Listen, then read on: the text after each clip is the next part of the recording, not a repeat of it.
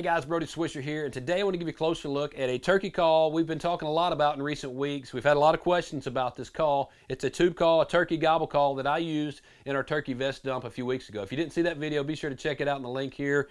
Our turkey vest dump, we went through all the gear that we use. One of the call uh, that I particularly keep in my turkey vest is a tube call. It's a simple 35 millimeter film canister with a balloon stretched across it. A lot of guys have been saying, hey, what is that call? Who makes that call? Uh, tell me how you use that call.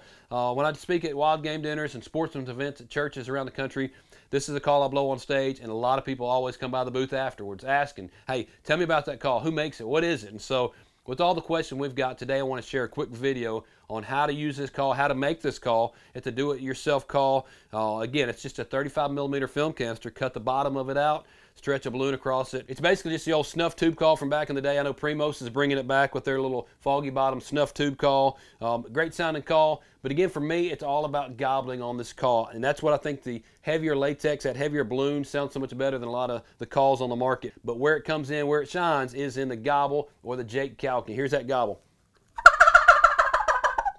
and it's got a great sound. I'll throw it a different direction to maybe sound a little different.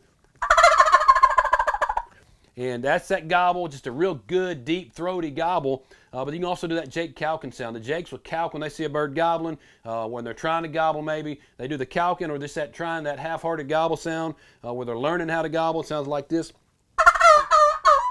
So you can do all kind of sounds just to entice that gobbler to your direction. Now one of the popular tactics these days is crawling behind a strutter decoy. Whether you call it fanning, crawling, sneaking, reaping, whatever it is, using that strutter out front of you, crawling behind it to crawl up on a turkey. So it makes sense to use that turkey gobble tube gobble at him, get his attention. He looks up and sees you with that fan, that strut and decoy. You crawl out there and approach him and engage him. Now, listen, I know it goes against everything we've ever been taught in hunter education. We were told don't look like the animal, don't sound like the animal, don't act or imitate the animal that you're pursuing for fear of being shot. So when we blow the tube call, we make the sound of a gobble, or we're crawling around with the turkey strut and decoy. You better be careful. You better know who's around you. Don't use it on public land. Keep it safe. Use common sense when you're blowing that call. Don't go blowing the call through the woods where you know there's other hunters don't go blowing a gobble call through public land. It's a good way to get killed. All right, here's another tube call I just stopped and made in the middle of this video. It literally took less than a minute. I took a pocket knife and cut off the bottom of that canister. It's kind of crude. It's not a real clean cut. Uh, I've used a Dremel in the past to make a nice,